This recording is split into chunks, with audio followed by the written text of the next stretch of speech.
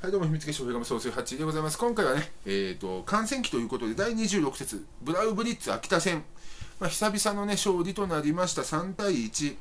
えっ、ー、と、32分に元木、56分にノリック、62分にね、凪が決めて、まあ、80分、1点取られたけれども、見事に逃げ切りに成功したという試合になりました。ま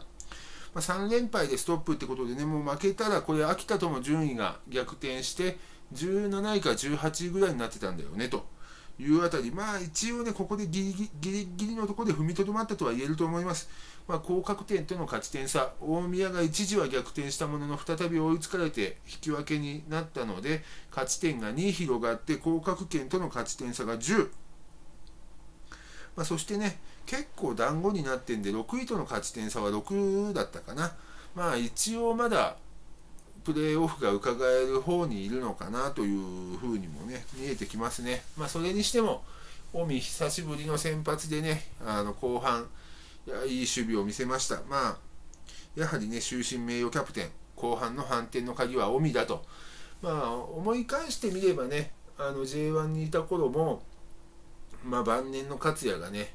あの最後何年か連続して、この時期にレギュラーをダッシュして、そこから巻き返した。海がね今度はその役割をする番なのかなっていうふうにもね見えてますよね。まあ、先発をね勝ち取った何人か他にも先発を入れ替えましたがその先発入れ替わって出てきた選手っていうのもしっかり結果を残した。まあ、もちろんね、この試合だけで言えば、下位のチームに順当に勝っただけと言えなくもない内容ではあるんですが、何よりね、やっぱ勝ち星が一番の良薬になるともね、言うんでね、まあ、ここで勢いを取り返していければいいなと思っています。まあ、次もね、勝てるかどうか、ここから勝ち進んでいけるかというところになりますが、まあ、近江を含めてですね、今回、えーと、スタメン入れ替えて出てきた選手たちが、まあ、どこまでね、このまま頑張っていけるかというところだと思うんでね、まあ、楽しみに見守りたいと思います。まあ、言うてね、あの、例えば選手の年俸順で言えば今の順位でちょうど妥当ぐらいですよってあの選手の人件費ランキング29位ですよって言われてそれで納得するんだったらそうじゃねえだろうと。そうじゃなく俺らはやってきたしあの上金持ってるところにね勝ってきた、まあ、そこのねランキングで29位だから妥当な順位にいますよってことを飲み込んじゃったらじゃあうちより金使ってない秋田に勝った今回の試合なんていうのは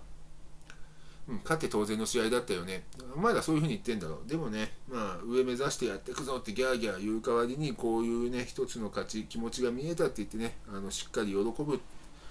まあ、そんな感じでね、あの楽しませていただきたいと思いますんでね、またバンホーレ甲府、ここから巻き返してもらいたいと思います。以上、ハッチーでした。